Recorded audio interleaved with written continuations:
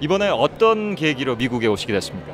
예, 아, 저희가 아, 미국 지휘자 협회 ACDA에 아, 매 2년마다 경연제로 열리는 아, 디비전 아, 컨벤션에 초청을 받아서 아, 저희 서울 레이디 싱어스가 아, 참가하기 위해서 미국에 왔습니다. 오늘 그 시카고에서 연주를 마치신 소감이 어떠세요?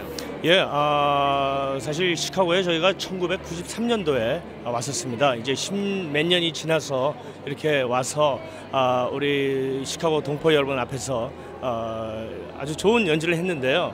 어, 또 많이 성원해 주시고 박수를 해, 쳐주시고 또 어, 저희를 격려를 많이 해주셔서 얼마나 아, 기쁜지 모르겠습니다. 예. 오늘 어떤 곡들 연주하셨습니까? 예, 오늘 곡들은 아, 첫째 이제 미국 주의자 협회에 갖고 갈 한국 창작곡들, 현대곡들 하고요. 그다음에 아, 저희가 아무래도 선교 합창단이기 때문에 아, 성가들 또 어, 한국 미녀들 또 아, 미국의 전통적인 아, 재즈 곡들을 아, 연주를 했습니다. 네.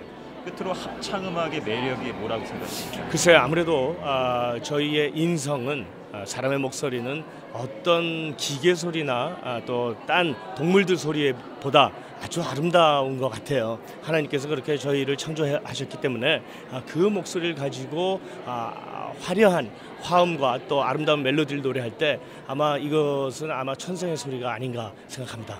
고맙습니다.